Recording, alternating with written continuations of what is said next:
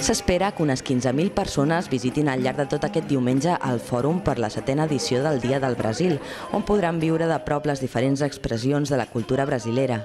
La capoeira, una dansa esportiva declarada Patrimoni Cultural Immaterial, és una d'elles.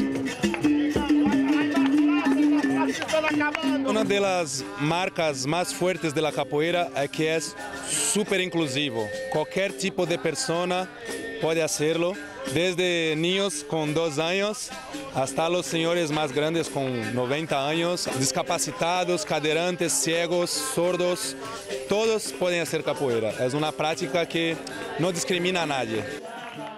Els visitants poden gaudir de tallers i activitats infantils i una àmplia programació musical fins ben entrada la nit, amb concerts de diferents estils de música brasilera.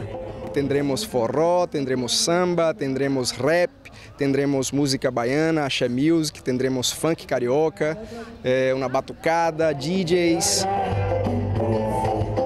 I no hi podia faltar un espai per tastar la gastronomia brasilera, amb alguns dels seus plats més representatius.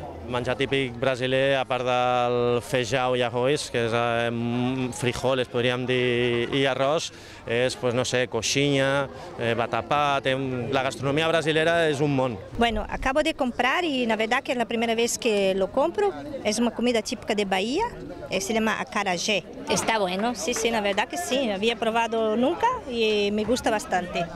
Aquest és el primer cop que el Dia del Brasil se celebra al Fòrum, ja que el moll de la Marina, on s'havia fet en les passades edicions, ha quedat petit.